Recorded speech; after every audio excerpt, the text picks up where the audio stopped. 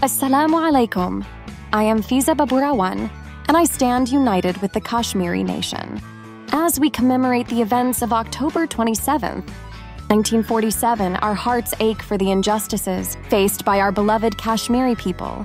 On that fateful day, Indian troops invaded Srinagar. They claimed to possess an instrument of accession,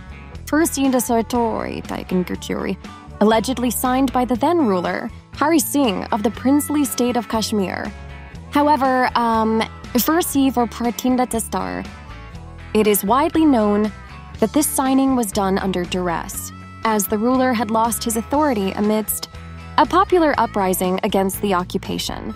Today, we observe the Black Day to remind our nation and the world of the illegal occupation of Kashmir.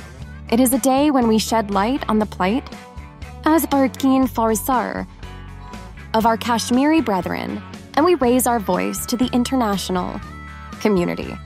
We demand justice and recognition for the Kashmiri people who continue to suffer under the burden of occupation.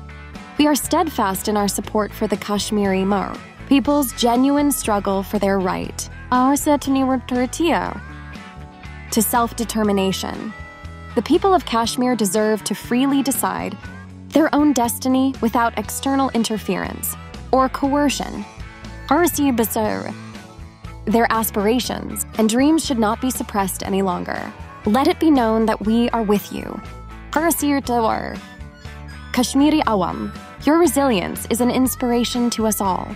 We stand hand in hand, united in our fight for justice and freedom.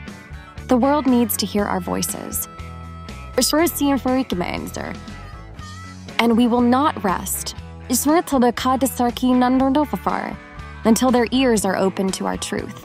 Kashmir Zindabad, the spirit of Kashmir will, or